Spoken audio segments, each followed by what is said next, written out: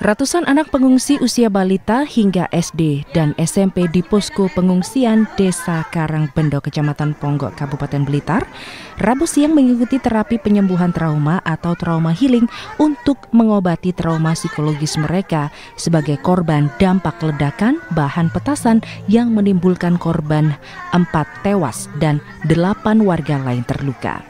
Kegiatan yang digelar oleh tim tanggap bencana Tagana Kabupaten Blitar ini dipusatkan di posko pengungsian desa setempat. Selain diisi berbagai permainan, para relawan Tagana juga memberikan media menggambar dan mewarna bagi anak-anak pengungsi korban terdampak ledakan untuk menghilangkan kebosanan mereka selama berada di tenda-tenda pengungsian.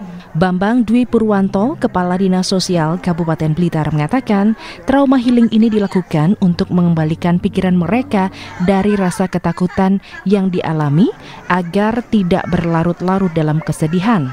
Mereka bisa kembali ceria seperti sebelumnya.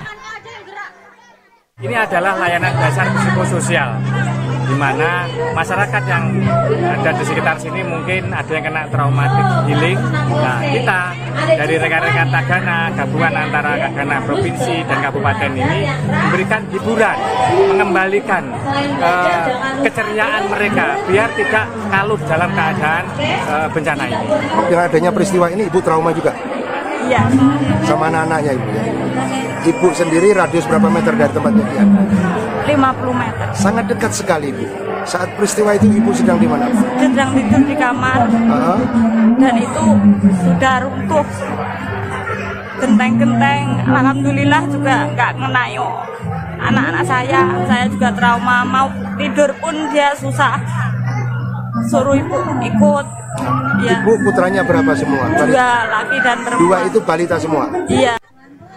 Trauma healing ini akan dilakukan hingga beberapa hari ke depan, sampai anak-anak korban terdampak ledakan petasan ini bisa memahami tidak ada rasa takut dan bisa ceria kembali. Muhammad Ashrafi, CTV.